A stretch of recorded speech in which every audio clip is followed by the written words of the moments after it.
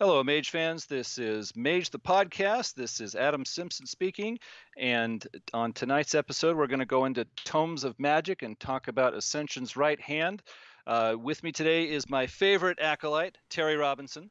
Acolyte? I'm at least a consort, thank you very much. okay, we'll have to check the show notes on that, get that one worked out. But in the meantime, um, before we get into what we're discussing today, uh, I think you've got some announcements for us, Terry. I do. One, shameless self promotion. On the Storyteller Vault, I have released an image pack of 246 images that you can use in your chronicle or your publications. Uh, it is currently priced at $12.99 or less. By the time this goes out, I may have reduced the price for it. They are largely whatever you want to do with them. You can remix them, you can modify them, you can print them. As long as you don't sell them as your own, uh, it's out there for creators to use however they wish. It's a mixture of indoor and outdoor and creepy stuff and not so creepy stuff. I got a bunch of pictures of of a lunar eclipse and a solar eclipse and some prisons and graveyards and so on. Anyway, if you're looking for for images, it's there. The PDF preview on DriveThruRPG includes a thumbnail of literally every image in the set. So there are no surprises. Number two, I'm going to be at PAX Unplugged, and I'm trying to see if there are enough Mage the Podcast fans going to do a meetup. If I can get 10 to 15 people between Mage the Podcast and some other properties, I'm going to try and run a meetup. PAX Unplugged is a gaming convention. It is held the weekend of December 5th through 8th in Philadelphia, which is where I live. And again, if we can get a bunch of people to go, I'm going to have a meetup of some sort. Finally, we are probably at this point one month into having a Discord server. If you would like to come chat with us, ask us questions directly, talk with other Mage the Ascension fans, bat around ideas for a chronicle, or ask rules questions, by all means, go there and talk to us. Information is going to be at magethepodcast.com. Those are my notes, Adam. Back to you. yeah, I uh, for the first time uh, this evening, I uh, stepped into the uh, Discord and looked around, and I'm looking forward to uh, talking to some other people in there in the future. And um, let's see, as we get into uh, Ascension's Right Hand, uh, this book was put out in 1995. It has a number 12 on the spine, and by the numbers on the spine, it could be called the last book of first edition before second edition got started with the second edition core book, but also uh, it's, it's actually debatable because Halls of the Arcanum came out uh, after Ascension's Right Hand, and it has a mage emblem on the back, but it doesn't have a number on the spine, and and the uh, it doesn't have the purple on the cover. It, they recolored it to brown because it was part of Year of the Hunter. So, long story short, Ascension's Right Hand could be considered the last book of first edition, or maybe not. It's hard to say. Now, this was written by Nicky Rea, Tia Wynn, and Satyros Brucato, who was uh, publishing back in 1995 under the name of uh, Phil Brucato. And uh, there's also some additional material uh, contributed by Jennifer Hartshorn and Bill Bridges, uh, who is uh, popular here with us. So this book covers what they call Custos, and uh, it, has got a few terms that I, am going to explain to people here. First off, I, I actually uh, found myself explaining the title to a mage fan uh, not too long ago. Ascension's right hand is a reference to the old expression "right hand man," uh, your your ally, your helper, the guy you can rely on every time. And so this is meant to be the people who are the right hand man to those who are pursuing ascension. It's uh, the best way I can find to explain the actual title of the book. But um, this book covers the mortal tier of World of Darkness, and uh, those who are fans of World of Darkness are, of course, familiar with uh, what I call the mortal tier, and that is uh, characters like vampire hunters and uh, were creature kinfolk and ghouls and acolytes for mage and uh, mediums in, in wraith and, and other types of characters the Romani got their own supplement for World of Darkness. They were uh, mortal tier characters. They have um, either no uh, supernatural powers or p- supernatural powers that are weaker than vampires, werewolves, and mages. And uh, when you are creating one, you normally give them uh, less uh, in abilities, less in skills, and so it's like a less powerful tier uh, for characters in the world of darkness, and uh, Ascension's Right Hand is the mage entry uh, into that area. Um, now, Terry is going to talk us through the different sections of the book, and uh, we're going to get into the book proper. But before, I, I, just really wanted to take a chance to lay out some terms because there are some terms you're going to hear a lot of in this episode. And uh, for those of you who are not familiar, it could be frustrating. So, first off, Acolyte. On the cover of the book, it says the Acolyte sourcebook for Mage the Ascension. Acolyte is a term that first showed up in the lexicon in the first chapter of the first edition Mage the Ascension core book. Uh, it is meant to be uh, someone who is a um, not an awakened mage, but who is an employee or an ally or a helper to a mage. And this term has been somewhat confusing with mage fans because, of course, normally the word acolyte means like a new recruit or a trainee or someone who's training up to be one of us. And so a lot of people think, oh, acolyte, that's like a mage in training. And actually, as a game term in Mage the Ascension, acolyte is someone who is not a mage and will probably never be a mage. Uh, that the term for that is uh, a mage in training would be a disciple, someone who is, is probably going to awaken quite soon or has already awakened and they're a mage in training. You call them a disciple. An acolyte who is more powerful, more capable, who is more ready to accompany a mage into dangerous situations and probably uh, more knowledgeable about what's really going on in the world of darkness is called a consor. Uh, so a consor is basically a, a stronger, more capable, and usually more aware acolyte. Uh, we get the term familiar in here, which uh, shouldn't need too much explanation. The, the idea of a witch's familiar is, is quite old in, in Western uh, culture, but uh, a familiar is a supernatural entity that lives in a physical body, usually an ordinary earth kind of animal, but sometimes something uh, very strange and unusual. It could be an imp, or it could be um, a glowing dot of light, or it could be a robot. You know, the, the list is endless. But a familiar is a supernatural being that has bonded on a very fundamental level with one particular mage, and they are uh, they are partners and they go through the awakened life together. Uh, the final term you're going to hear in this episode a lot is custos, which the book tells us comes from Latin and means favored servant. In Mage the Ascension, custos is a game term and it is meant to generally refer to acolytes and consors and sometimes even familiars. It's a catch all term for allies, employees, helpers of mages. And now I've been talking a long time. Terry, I would like to hear about the sections in this book.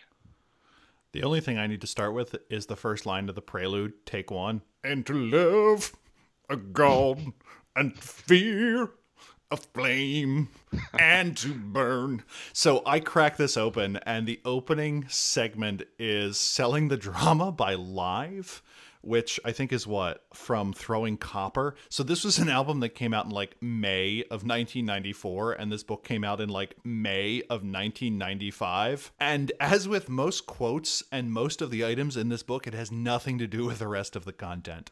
So, Prelude Take 1, it's a story of a bunch of custos at a bar. Then some technocrats come in, and then some marauders come through, and it's the scene where they go where where there's explosions, and the marauders are being all maraudery. Where the game is like, you need to treat insanity super seriously, but we're only going to use it for comic relief, internal consistency. And it goes, and then the final line is after everything blows up is just another damn night at crossovers. And that kind of sets the theme for a lot of my feelings about this book. The first piece of art that we get is a woman hitting a guy in the head with a baseball bat who turns out to be a robot. So uh, once again, this is this is primo first edition here, kids. We get a an introduction which basically explains what Adam just said uh, the difference between the various things. We get a lexicon, get some introduction to things, we get a few definitions, and then bam, we get chapter one where things are defined. You get several pages of dense prose. And then we go to the mage factions and their follower section, which goes tradition by tradition, explaining what the acolytes, consors, and familiars are for each group, as well as for the technocracy, the Nefandi, and the marauders. And this section is so profoundly uninspired, it was almost painful. There was never a case where you were like, huh, I wouldn't have thought of that as a familiar. Celestial Chorus, familiar, a lamb. Really? Like, I could see if it were like a fire breathing war lamb or something like that, but just a flat out lamb. I, I, I, I really don't think they really put their back into this section. But anyway, this is fine. As I said to Adam and before the show, and I will front load this, is to me, this book is like saying, hey, we just got a new dinner table and we want to have eight place settings. and there's a certain amount of money you want to pay for the eight place settings, and you find a set of 10, and it's a really good deal. It's like a great deal. It's way less than you thought you were going to pay for it, but it comes with two plates that are chipped. And you're super mad that there's chipped plates in it, even though it's a great deal, even for just eight plates. That was my feeling of this book. If you were to just take out the sections I did not like, you have like 60 amazing pages, and I would be like, shut up and take my money. But the fact that they added some of these other ones just kind of kind of makes me mad. And that was one of those sections where they just go faction by faction and tradition by tradition and explain what the consors, acolytes, and familiars are like. Also, it's very first edition technocracy where it's like, of course we kill our people immediately if they go out of line or get any idea of what's going on. Yeah, you're not going to have like super turnover then if you have things like that. Chapter two is going over what the actual jobs that acolytes, familiars, and consors do. And this is a pretty standard section. It makes sense. It goes through the various roles, how they differ from the technocracy to the traditions to the marauders to the Nefandi. There's a section on recruitment, how they pick them up, which is kind of interesting. And then it starts getting into the, the first part of me that went, oh man, this section is meaty, where they talk about mage Custos relationships and they say, why would an acolyte or a consor or a familiar put up with this. And they go through the physical rewards, like, gotta get paid. You go through the mental rewards of this is the powerful psychological rewards of the loyalty of service. And then finally, the magical rewards. And this was the section where you're like, oh, I get it now where what would you be willing to do? Who would you be willing to serve if you found out that someone had access to magic that could prevent your cousin from dying of cancer? Or what would you do to someone who had access to mind magic that allowed you to relive the best days of your life? Or someone who had intimate access to the neurochemistry of your brain that would allow you to experience a pleasure beyond what any other human had otherwise ever experienced. And you're like, oh, this book makes sense now. Then there's a section on rogues, those who leave service and why, and a set of fellowships. These are groups of custos that have banded together to be custos together. This section was very hit or miss to me. In just one example of what felt like a book that wasn't fully edited, there's a group called the Lab Rats, which is a group of Technocracy custos. There is already a group called the Lab Rats that is the cabal that Dante, the virtual adept, is a part of, and they're all progenitor uh, uh, escapees. Then we get a in-world section on how to survive as a Custos, which isn't very good. And then we go to chapter three, which is how to play these. And it goes through a couple of options. Do you want to have a chronicle where everyone is a Custos? Do you want to do troop style play, which gives your characters the opportunity to rotate back and forth between being their character and maybe being the Chantry guards? I thought that was a super good idea. I'm a big fan of troop style play where I'll say, okay, team, before tonight's session properly starts, we're going to have 25 minutes of you being the guards to kind of set scenery and allow players to set up how the, the game is going to unfold. And that that again was perfectly fine. We get a little bit of recommendation on plots that are going to come out the other side of having Custos involved. This section was also pretty good and probably means that Adam's not going to have a lot of story hook ideas because we get pretty well an entire chapter on them and uh, and and those I thought were pretty creative and pretty impressive.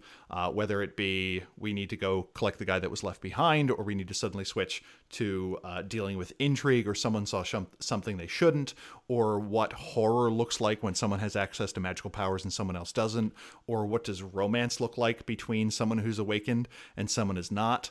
And that brings us to chapter four, which is character creation. Uh, long story short, this is a big section of new skills. This is a big section of new merits and flaws. Uh, it's I, I, don't see a reason to go over that in terrible detail. Followed by some play hints on how to build familiars and so on. Chapter five gives us a bunch of new systems, uh, which they simply refer to as noumena. Uh, noumena are any powers that are not necessarily awakened that allow mortals to have access to things they can't normally do um, or that appear magical. Within this, you have hedge magic or linear magic, which is the ability to do a certain ritual of a certain type to get a certain effect. It is not nearly as flexible as true magic, but can alter reality in ways that consensus science would have difficulty describing. You have psychic abilities, which come from the mind, and finally, true faith, the uh, the sledgehammer of of the mage system. It goes through that in great detail with varying degrees of specificity. And finally, we get to chapter six. And oh, Nelly, this is the part where Terry Terry just says, "Great." We get a whole bunch of acolytes, we get a whole bunch of familiars, and we get a whole bunch of consorts. And this section was well done. The characters are completely fleshed out. You get a thumbnail sketch of what the character looks like, which is also helpful. It draws in a bunch of creatures from a bunch of different lines. We get a, a vampire, we get a werewolf, or another member of a changing breed. The familiars are pretty well thought through. I super enjoyed those. And then finally, we get the back cover, the sign that the book is over. And I talked a lot. Adam, where do you want to start? well, yeah, but you talked well, and that's uh, that's more oh, you're kind. Um, I share your opinions on some things. Uh, thought a little differently on others. To quickly sum up as as we walk through the sections of the book, uh, yeah, the the prelude, take one, is is two pages of uh, opening fiction for this book, and I thought it was not very well thought out, not very well written. It, it, does not inspire me to want to read the book or or to jump into much of anything. And so I, I just feel like that really could have been done better, uh, honestly as we look at uh, some of the other sections, um, it stands out to me that there are two whole chapters of, of game rules, which um, I'm not used to seeing outside of a core book.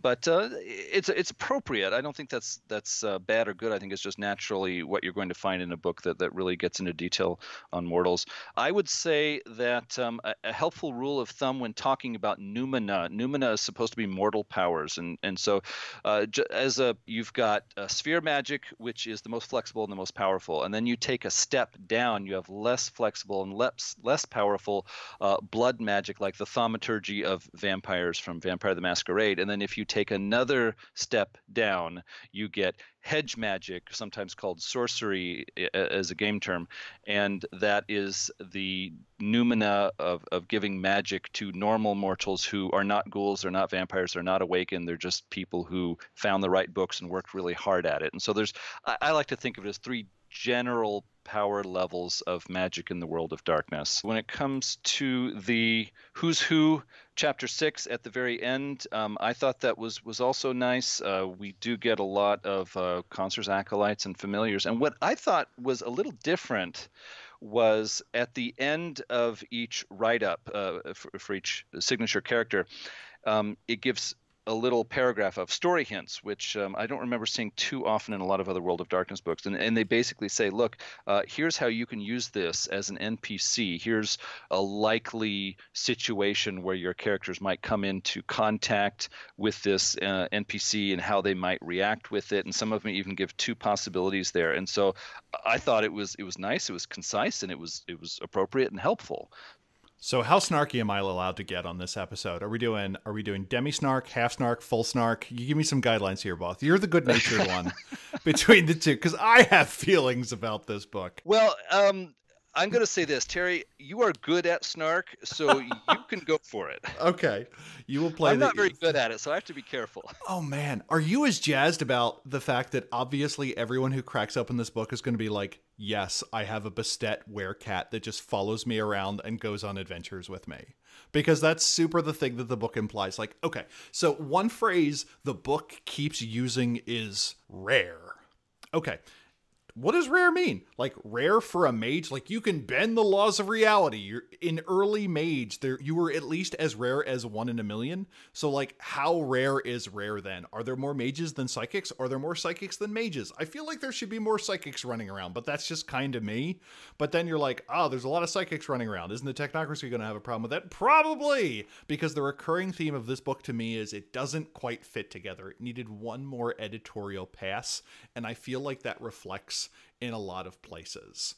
So it's great. They just had re- released the the try book for the Bastet. Okay, let's drag them in. Great, it's fine. Sell across different lines, but then they're like, these things are super rare and you'll probably never encounter them. Here's a half page on all the different forms. Great. Okay, thanks. And at the same time, they don't mention the Corax at all. Come on, man. The cigar chomping were ravens, that's what Mage needs, not like sexy cat people. I don't know why they're always sexy. Why can't you just have a frumpy cat? Per- anyway, that is neither here nor there. and it just kind of goes from there. Like the the Nefandi as they're presented are super stereotypical. Like we get the N word. Like I understand that they wanted to be edgy in the '90s. They go full on N word, and just a whole bunch of other racist terms. They're like, we're gonna hunt people. Okay, we got it. I understand the Nefandi are the bad guy. How do we get a little more subtlety in there rather than like hunting the most dangerous game of all? Man, the interstitial art was nonsensical. Like there would just be an illustration in the middle and it would be like somebody under a tree or a woman with a bird. Like what what's going on there? And there were a bunch of cases where it would be the same illustration on two subsequent pages, but backwards? Like, page 100 has a guy who very much looks like he's being lynched. Page 101 very much as a guy looking like he's being lynched. Like, I get it. This is a bit much. So that's just me. And then periodically, another quality one that uh, somewhere around like page 91, there's just a guy in a coat. He's just a big guy in a coat. It looks like I, I don't know what that image is supposed to give to me. Again, you take all these things out and you get a great 60 page book that Terry is super interested in. The plot ideas are super well thought out. The Mage Custos interactions, I think, are very well thought out. The characters are great but like the internal systems just don't make sense to me. So you can give a familiar the ability to eat paradox. For two points, it'll eat one point of paradox a month. For six points, it'll do one a day. So you spend three times as much, you get something that is literally 30 times better. And it's just things like that. Like, and I understand there are storytellers who will be like, oh, I wouldn't give players access to that. I'm a person who says, we're all excited about the game, and every time you say no to a player, they die a little on the inside. And as much as we can avoid doing that, the better. Some of the systems just didn't quite make sense internally, like the fact that unbelief can apply to linear magic. I thought the whole point of linear magic was it isn't affected by paradox, and a manifestation of paradox is unbelief. The hearth lore skill, where it's like, you have folk wisdom. Okay, what is that? What does that actually do? And it gives one or two examples, but the examples they give are more or less the awareness trait, which doesn't quite make sense to me so that was i guess that's my commentary on on systems. Were there any systems where you're like oh this is great. Oh i guess the one redeeming thing was the hedge magic the rituals they present and like how hedge magic is actually done i thought was super compellingly described. The examples they gave for like here's a flavorful way to cast a curse or here are some enchanted objects you can create those were amazing. Like those are better than a lot of the information we get on like focuses in other books and it's just bing bang boom a whole list of them those were amazing. Super duper. Great. Love it. Yeah, uh, Terry and I were, were talking a bit uh, before this episode, and uh, w- one of the really interesting things about uh, being able to have uh, two hosts is being able to see slightly different points of view. And in a lot of areas, I, I really do agree with Terry. And in some of other areas, um, I, I, feel differently. And I'm not going to say I disagree with Terry because I don't actually disagree with him. It's just that I, I have a different impression and a, and a, different feeling about things. Uh, we, have said many times in the past that I'm a rules light guy, and, and Terry really I'm likes heavy. Like I want a monthly supplement. I, I want to get Mage Quarterly that that just comes out with a big old fat tome of rules every time. I it comes from fundamental insecurity about my ability to tell a story, and my players will mention that too that I'm bad at it. Adam, on the other hand, is the good storyteller. He doesn't need well, need as many rules. Uh, yeah, uh, until we record me running a few people through a session, then it's like, uh oh, the secret's out. But but anyways, putting that aside for a minute, I do uh, consider myself to be a rules light guy, and that's not necessarily a good or a bad thing. It doesn't make you a better or worse storyteller. It's, it's just my style and my outlook on things. But when I look at the systems presented in Ascension's right hand, I don't have as much of a problem uh, with a lot of the things uh, listed in here. Um, as I've said before, um, when I get to the merits and flaws in here, when I get to the special advantages section, which honestly is superpowers, you know, well, yeah, let's let's kind of yeah. call it what it is here. It's it's its special advantages. We just call it superpowers. But uh, when I get to that, I see uh, like someone opens up a big toolbox and it's full of tools. And some of those tools are going to be great, and some of those tools are going to be terrible. And I think a, a storyteller needs to look into that toolbox and say, yeah, that one's going to work for me, and that one's not going to work for me. And this one, I'm not even sure. I, I just want to put it into my game and, and play around with it and see where it takes me. And maybe it's going to suck. Maybe it's going to be awesome. To run with your analogy, it's like buying my first toolbox. And instead of having a regular sized hammer, it has a jeweler's hammer and a sledgehammer. And you're like, well, why didn't they give me something in between? And that's that's what it felt like to me. So as someone who who likes the rules i want the rules there to be internally consistent and i want them to all make sense together. So it is fine to say like oh i'm not going to have these but if you're like me and you want to have those things you want them to play together well. And i super don't feel like that that that happened yeah. Uh, whereas I, I liked the uh, the special advantages or the you know the powers and, and the merits and flaws and a large number of noumena. Uh, I, I like that because uh, one of the things I like about Mage is that this is a game that encourages storytellers and players to look at the Mage setting as being you know wide open. You you can do anything here. You can take this anywhere. If if you want to make up a new class of supernatural touched mortals that have a certain class of powers. It's like you can use this as a sort of uh, tool set to build out that addition to the world of darkness that you want to have in your mage games. This gives me some of the tools to start building out that stuff. And you know, rules like guys like me like to be able to do that. And I do, I, I really do understand people who have more of Terry's approach, where it's like, look, I'm buying a game book so that this stuff can be worked out and I can be given tools that are appropriate to use for my campaign. And so, yeah, I, that's a totally legitimate and understandable point of view, and I'm glad that Terry brings that to the discussion. And uh, I'm just yeah, I, I, just like to be able to, to say that you know some some of us are rules like guys, and we like to be able to just open up the toolbox and say, "Gosh, look at all this stuff. What could I do with that? What could I do with that?" Um, when Terry says the book was poorly edited, um, in some ways, uh, there are things that I see as open-ended and interesting, and he sees as uh, could be could might have been poorly edited here. And there are other things that were just clearly poorly edited. Who's Hooks? yeah, Terry's referring to chapter six, where if you look down at the bottom of the right-hand pages, it says chapter six. It's supposed to say who's who because that's the name of the chapter. Instead, it says who's Hawks or who's Hooks. There's an X it's, it's at the end of who. on page after page after page. It's like uh-huh. okay guys, you know, come on. And another thing that is even worse is when you go to the merits and flaws section, there are three merits that they make available to you. Uh, they are Fairy Companion, three point, Shape Changer Kin, four point, uh, Ghoul, uh, five point. And those who are you know familiar with the other games in the world of darkness know more about that. I don't want to spend a whole lot of time going into it, but it's basically you know it's, it's a little boost to your character. It's worth some merit points, but it's it's not you know totally chronicle wrecking.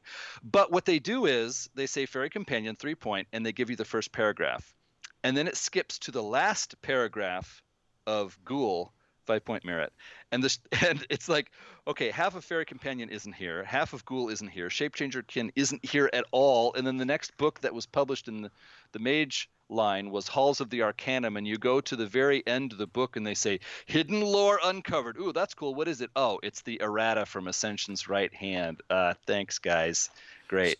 so the thing that's almost impressive about that is so I read from the PDF generally, and even in the PDF copy, like that fix is not in there. You figure DriveThruRPG would just be like, oh, here's the fix. And, and even the pages are out of order. Like if you crack open a book and the left hand page is an odd number, that's a sign that something kind of went wrong. In the Western world in general, the right page starts with page one. Uh, this case, the odd page is on the left. And on page 78 and 79, the art is so thoroughly phoned in that it is uh, so 78 depicts a uh, generic person with glasses with a thing in their hand. 79 is the color inverse of that where black is white and white is black and it's swapped left to right. How can you tell it's swapped left to right literally? Because in the page 78 version the artist's signature is even backwards. They didn't even bother to fill that in yeah, uh, Ter- Terry's uh, Terry's comments on the artwork are, are valid. I didn't feel as strongly uh, about it as he did, but yeah, he, what he's saying is. How about the illustration on page seventy-seven where a guy is obviously being kicked in the nards by an imp? Uh, Look at that. Yeah, oh, yeah like, that is not oh, the best nads. picture. Yeah, one thing about the artwork that I wanted to say is, as as I was flipping through this book, there are a number of images of people being physically abused with hints of sexual overtones here, and it's like I don't think it's an overtone. Some of them are pretty darn obvious. There's a woman who is being very visibly mistreated, and I don't even want to go into a lot of detail here because it's not that great an image to really discuss with with uh, the general public. But yeah, I, after flipping through this book, it's like, okay, what is it about physically abusing women here? But I mean, even though I'm not a very political guy, it, it stands out here. It's like, oh yeah, what what? Yeah, you mentioned in here that Nefandi treat uh, often treat their acolytes and their consorts really really badly, and it's like, okay, I get that, it makes sense, but why do we need this many pictures depicting it? Uh-huh. I'm starting to think that. It, I mean, I, I've got a wife and kids in the house, and they're going to come to the shelf and pull this off the shelf and say, "What's this about, Daddy?" I'm like, um, you know what? That's not mine. Read Gods and Monsters. you know the co-host that the daddy said he was going to spend less time talking to. It's his. The other recurring theme is almost all the men have long hair, and those who don't have long hair have hats. There is certainly some artistic themes that show up in here. There's a lot of people being hit with beams and broad-chested men with short hair. It's I don't know. Was it just rejected art from other books that they're all like they just emptied the folder and shook it? And like it's not sexually suggestive. It's like it's a little bit porny. It's like using like it, the N word and saying that the term is racially charged. Like we, we got a little bit of understatement going on here. Yeah. So yeah, the artwork is yeah, you look through it and it's like okay, so we've, we've said what we think about the artwork here, and we, and we don't think that differently about it. So moving on, there were some areas where uh, Terry, Terry thought it, it was like inconsistent or, or didn't hold together too well. And I think he has a legitimate point. Uh, we are reading a lot of mage books. You know, most of or almost all of uh, first edition up to this point, we mostly get examples of mages uh, living on their own, operating on their own, or perhaps uh, in cooperation with a few other awakened mages and uh, we don't have a whole lot of examples of uh, acolytes or consorts hanging out with mages or, or you know uh, doing their laundry for them etc and here in this book the book is on that topic and so of course it's, it's just totally full of that. And so a person reading through this book could get the impression that oh the world of mage doesn't have a, lot of acolytes and now somebody opened the floodgates and every two-bit mage has two acolytes following him around. And uh, I, I I totally understand how someone can get that impression reading through this book, but in my mind, this is the book that focuses on that topic, and so that was not so out of place, uh, you know, in in my mind. Uh, the thing to me is, I very rarely have players that take allies. And I feel like even in a book on allies, it kind of over represents them. Like one of the problems I have is so I take three dots and allies or four dots and allies, and that tells me the power of the ally, and they kind of tool around. And assuming I don't tell them to do anything too suicidal, they'll probably do what I say as long as it fits with their agenda. But in the case where like they're a live in person at a chantry, like who's paying them? do I also need the resources background to pay that? Like those those are the kind of things that got a little bit messy for me. Like it kind of suggests in a lot of places that mages are rich, but very few of the pre-made characters we get have any dots and resources. So is it suggesting that consorts and acolytes only attach themselves to higher level mages? And I feel like it's one of those things where the the allies background they, they don't really bang on about it. They they specifically say like backgrounds can't be re- increased with experience points, but a little more information to be like, yo, this is how you can accumulate one. I can totally get that. Like I think every mage troop has kind of picked up a mortal, if nothing else, kind of as their mascot. Um, I it, we don't necessarily need the acolyte or consort term, but mortals will eventually get swept up in your activities, and to make them part of the ongoing chronicle, I kind of like. But this game kind of starts with the they're already there, um, and I would have liked a little bit more on this is how it can be introduced into an existing chronicle. That's that's just me. Yeah, and, and I was not as bothered by this because, the, it, as the book mentions, there are some acolytes who attach themselves to a mage and they are not paid. It, it's just out of love or thrill seeking or you know, all these other different psychological or, or personal reasons. And so I was not bothered as much by that. I, I actually like the fact that the book encourages people who you know it encourages mage fans to see mage the ascension as not just uh, mages who can do magic and their conflicts and their societies but it encourages all of us to look at mage the ascension as more of a complete setting. Mage to me is not just um, rotes and spheres and mages, it is also this larger world that mages are a part of. It is the Umbra, it is oracles, it is chantries, it is acolytes, it is uh, familiars and seekings, and and all these other things that that make it more of a rich environment in in my mind at least. And so I like how the book kind of helps draw you into that. Oh yeah, and there are four things this book does super well that if I hadn't read it, I, I would have skipped. So just the context for me screaming a lot. Are you familiar with the term Adam, uh, the bitch eating crackers effect? um, I, until recently I was not, but uh, you, you helped me understand that, that little bite of wisdom. So, so the idea is you, uh, it is possible to dislike something so that everything it does you kind of don't like even if under normal circumstances you'd be fine with it so in a good book a lot of these errors i would just sweep under the rug but because like of my slight inclination against it i, I tend to have disdain for it it's the opposite of the halo effect where you yeah. have and, and I, i'm guilty of the halo effect here the halo effect is where uh, bill the, the bridges person... writes anything uh, guilty. Okay, but, granted, the halo effect is where the person you're focusing on is so great that, that they can do no wrong. Everything yeah. they say is brilliant because they said it. Or the topic of the book is is such a favorite topic of yours that the book can do no wrong. And I might be guilty of that when we get to the Umbra book later in second edition. But for now, um, I may be guilty of that when looking at Ascension's right hand because I was so pleased to bring in the topic of familiars, acolytes and consors. I, I, enjoy looking at that slice of the the uh, awakened world, and so I was in a mindset where I was more willing to forgive some of the faults of the book because I just enjoy the topic so much. But again, honestly, even though I sound like I'm disagreeing with Terry, I really don't because he does bring up a lot of valid points, and it kind of boils down to to to a point of view in some cases. So these are the four things that I think the book does super well in terms of what adding a Custos can do to your game. One, it humanizes the mage. If it's mages talking about mage things all the mage time, you kind of ignore the normal human drives for maybe vengeance, relationships, love, family, and other things that are way easier to express with the non awakened, but still the people close by. And consors are a way to give those people a voice, acolytes are a way of giving those people a voice, and that's great.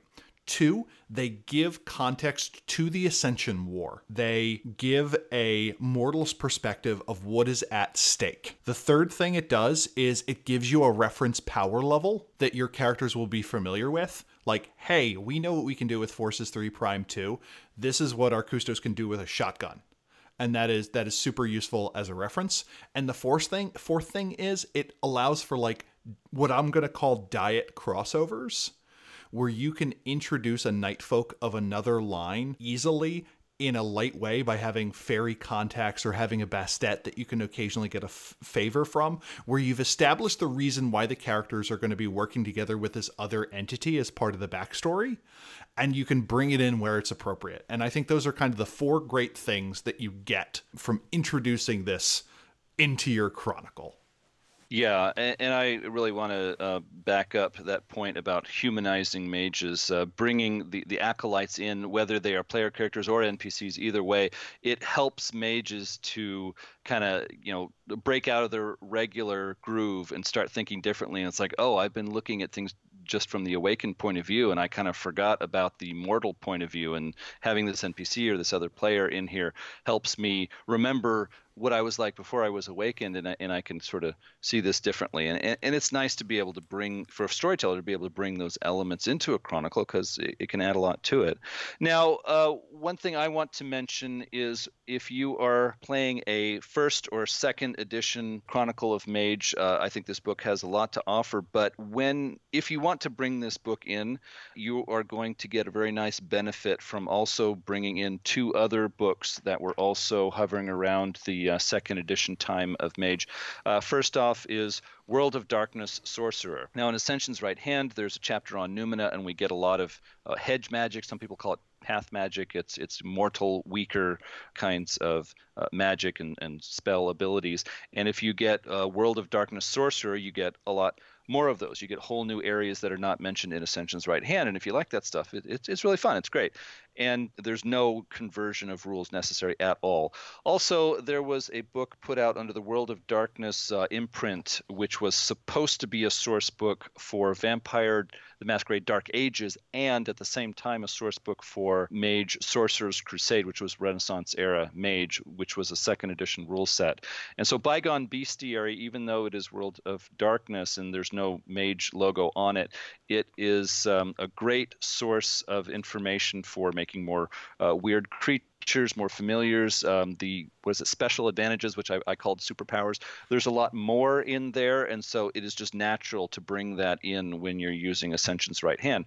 But but even as I record this right now, I, I can already hear the guy in the back objecting, saying, "Hey, what about me? I'm not playing first or second edition. I'm playing uh, Mage 20 or I'm playing Revised." Uh, well, two things uh, I would like to mention to to those uh, Mage fans. Uh, first off, is if you're playing Revised or Mage 20, then you're probably going to want to reach for Gods and Monsters, which, uh, as this is being recorded in the middle of uh, 2019, has already been published. It is available. It's over 200 pages in PDF or book form.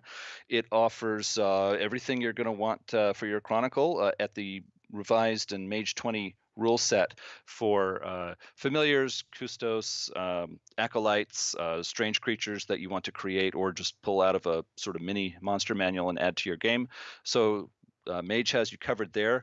Also, if you want to take Ascension's right hand and just use it in Mage 20, uh, you'll need to do a little bit of rules conversion, but honestly, not that much. Um, it, it is still useful to you, and I still think has uh, some benefit for you. So either way, I think there's a lot of material that's going to help your Chronicle and uh, if I could just uh, stick on the uh, topic of consors for a moment, uh, there are uh, two things that, that I wanted to, to mention about that. When this book was published, they, they don't mention it. They may not have even realized it, but it, it seems there are two different power levels of consors in Mage the Ascension. And uh, first off, if you take the uh, rules for Vampire the Masquerade or Werewolf the Apocalypse and make a werewolf or a vampire player character and then uh, pull it into a mage game as a consort, then that uh, vampire or werewolf character is going to be ability and power level roughly equivalent to a mage.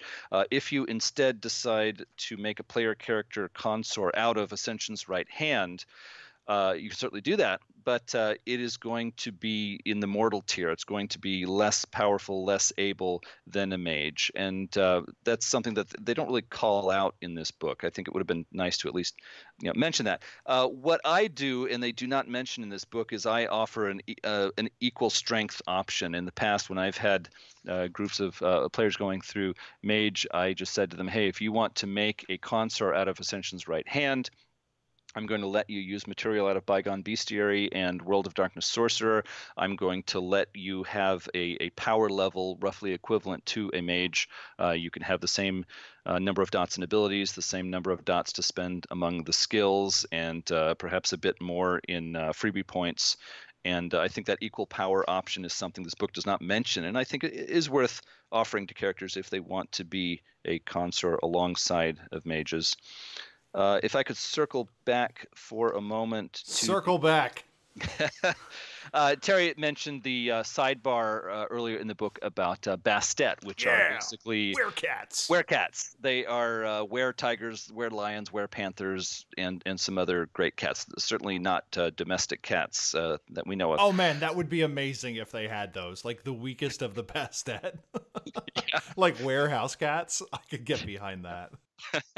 Well, when I was uh, reading through the sidebar on Bastet, I, I actually really liked that because of all of the were creatures that you could pull into a mage game as a consort, uh, I, I, think a lot of them could give interesting options. And I agree with Terry. I think Corax uh, could make some cool consorts in there. But uh, getting back to Bastet, I think they work well as a were creature consort for a mage game because they are more likely to be curious about and uh, able to get along with mages and and more willing to compromise a bit and live with some regular humans and and kind of break out of their uh, regular circle of being with other uh, were creatures and warriors of Gaia.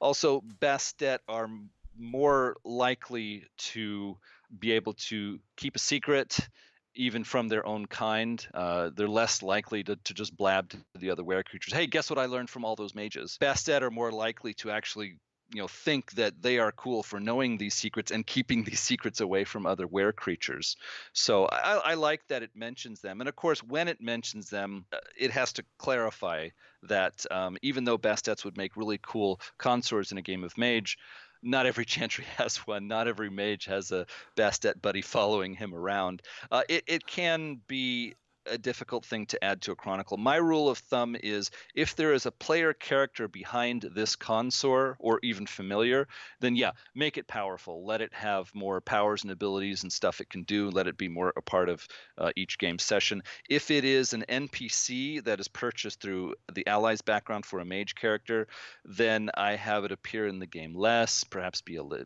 a bit less knowledgeable, a bit less powerful. They can uh, overbalance a game if you just throw a were creature into one. Well, I mean, I, to me, the super thing is one, they can't fly. So they don't have that extra direction in which to escape that has an annoying way of destroying plots. And they also can't really step sideways in the same way. So once again, like a werewolf is outmatched and he's like, peace! Which I mean, if your werewolf is outmatched as your consort, then like your mages are are, are, are thoroughly hosed. Uh, two, a Bastet you can still kill with shotgun, which is nice. Like you want killable consorts. That made me sound much more maniacal than I was going for. But still, and Terry, also the truth comes out. exactly, exactly. it, this is this is secretly informed by the fact that Cats as a musical is going to appear as a movie in time for Christmas, and that's that's still throwing me off. Oh gosh, um, I didn't even know that. Now that I hear it, it started. Oh, you didn't know that? And I think it I think... started to throw me off now. But, but yeah, getting back to your point, uh, yeah, I, I, should have mentioned that. Uh, generally speaking, when looking at where creatures in the world of darkness, Bastet have a harder time stepping sideways into the Umbra than werewolves do, and they are generally less physically powerful than werewolves are. And so, yeah, that again, it makes them consorts that are easier to add to mage games than uh, a number of the other were creatures. So I liked having a sidebar on them. I thought it was kind of cool to to get those wheels turning. I wanted to throw in an anecdote from my own uh, gaming experience in the past. I had a time uh, some years back where I was running a, a, very long running online chronicle for Mage. I was focusing on Mage. It was not about crossovers. And an offline friend of mine who I knew quite well approached me and said, Hey, I want to I want to join your online game and, and be one of the players, but I want to play a werewolf. And I thought, oh, I don't think that's a good idea. I think that could really imbalance things and really uh, throw a monkey wrench in the works. And so I tried to talk her out of it, and she said, "No, I, you know, come on, give me a chance. I really want to do this." And I said, "Okay, fine." I went to the other mage players who were regulars. They were coming, you know, every every Thursday night, and I said, "Look, I, have got a friend who wants to come in as a werewolf and just join it." And it's like, "What do you guys think of that?" And they said, "Hey, cool. We think it's fun. Well, you know." Let her do it. And I was like, seriously, you want a werewolf running around because they're like this and like that? And they're like, yeah, do it. And so I went back to the player and I said, okay, uh, this is a mage game. We are focusing on mage themes and, and mage things. But if you want to have a werewolf in a mage world, you can do that. And I thought it was going to be a mess. I was wrong. Um, the player did a great job. Uh, the, the, werewolf uh, joined the cabal and said, "Look, I'm I'm going to be the muscle, and I'll I'll follow your direction." And the mages thought that they had had found the secret to uh, to gamer power. They said, oh, "We've got a pocket werewolf that we can direct any way we want. We think this is the coolest thing since sliced bread," and it it actually worked out really well. Whenever there was a physical threat to the players' uh, cabal, then the werewolf character said, "This is my job. I'm going to jump right into it, uh, you know, sw- fists swinging." And the players thought that was great. It's like, "Hey, we've got a secret weapon. We can direct at our enemies." And so I started putting in more physically powerful NPCs for the werewolf to deal with. But everybody was having fun. It was working out great. We ran for a couple of months that way, and then finally, you know, my friend playing the werewolf said, "Look, I, I got to go now," and she ducked out. But and then I everyone died because of all the enemies that they had racked up and no, had I had nowhere to, to protect them. Hurry, but I was just so surprised. I thought it was going to totally throw things off and be a mess that I had to clean up. And actually, it was a lot of fun. Everybody was happy and it worked great. So sometimes even I can be open minded and it can work out. I like that. Sometimes even I can be open minded. Adam Simpson. I go wildly back and forth on Mixed Chronicles. I'm a huge fan of other Night Folks NPCs, but not necessarily other Night Folks players. Did it bother you that they referred to vampires as awakened capital A throughout this book? That was infuriating. Bitch eating crackers. It wasn't actually I'm sorry. That's fine. so, okay, you're accusing me of, of, falling into the halo effect, but I will say this. No, you're not. Like, let me fully explain. So, the idea of the bitch eating crackers effect is the idea that you hate someone so much that just them looking eating crackers angers you because you're like, look at that bitch eating crackers. So that's just to explain that. I'll have to cut that back into the appropriate section. But like, it was just like, ugh. Okay, I was not bothered by it because I am accustomed to you're an adult. A, and you can deal with no, these things. Well, yeah, yeah, I wish that was true, but uh, no, um, I wish I was mature. But but no, actually, the reason I was not bothered by that was because I have grown accustomed over time to seeing the term "awakened" with a capital A applied in two different ways, and it, I'm not saying it's a good idea, but I am used to it. Yeah. Uh, the first is awakened is a, mage who can uh, is awakened to magic and can learn and use sphere magic, and that is the proper use of the term. An improper use of the term that snuck in again and again in the first two editions of Mage was an awakened anybody is someone who will not incur paradox when they see um, vulgar magic in front of their eyes because they are an active part of the supernatural world. And that is, if you show vulgar magic to a vampire, they're going to be surprised, but not in the same way that a sleeper is surprised because they know that there are mysterious, strange things in the night, and they know that there are people, there are vampires out there that can do strange, crazy magic. And when they see a mage doing strange, crazy magic, it's again, it's surprising, but it's not totally f- unbelievable to them. Yeah, I'm not encouraging it, but awakened with the capital A being someone who is not surprised by magic, it, it shows up again and again in mage books, and I'm used to it. And that is one problem with acolytes. Some acolytes do not count as awakened, and if you do vulgar magic in front of them, all the paradox falls on the mage uh, who, who's using the effect.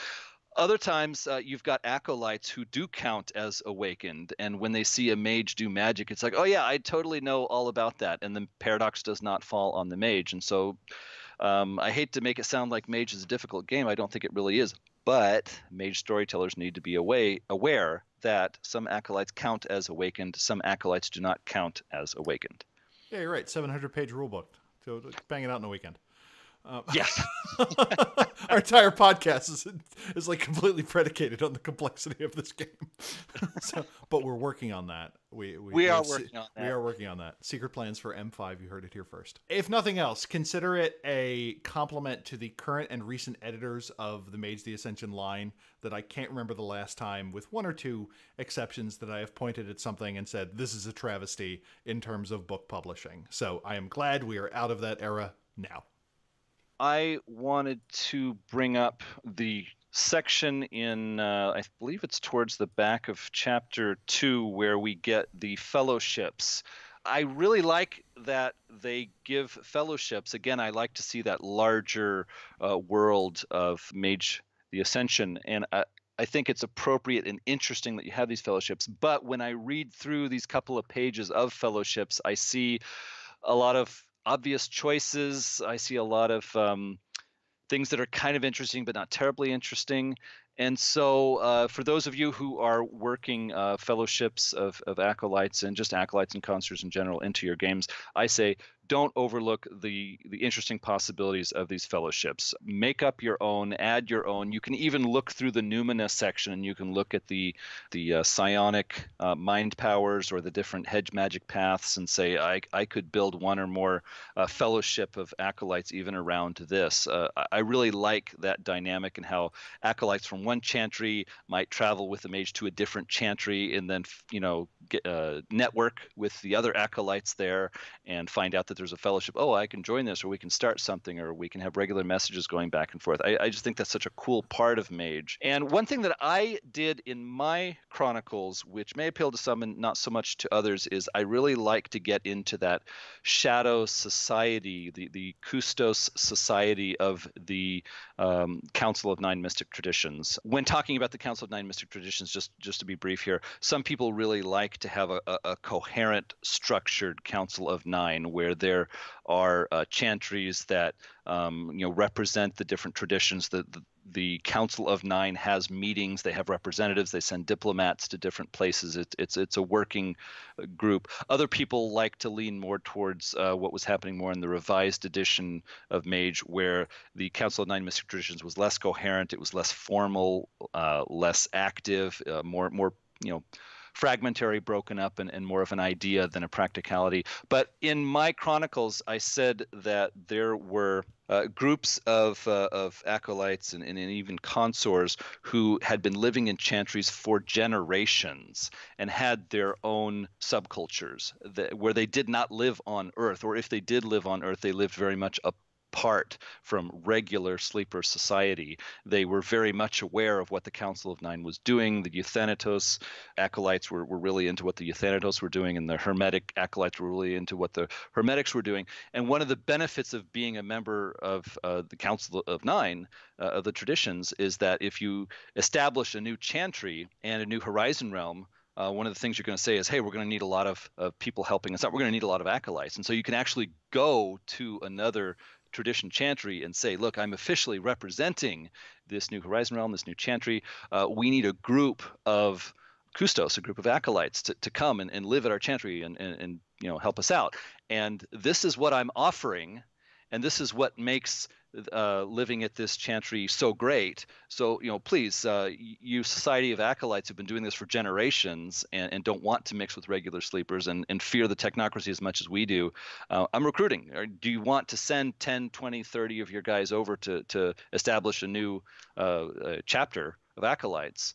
or is my deal not sweet enough and I need to make it sweeter for you? You can actually have some some dickering there. I, I like having yeah. that.